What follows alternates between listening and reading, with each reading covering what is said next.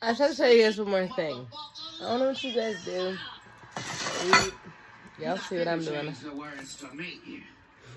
But stretching is so important. Make sure you stretch every day. All day. And get some chicken soup. It's like really good for your soul. Amen, brother. Look at the people with their Comment below if you love Katt Williams. Woke folk. Sweet dreams. Again. This is not the time for that.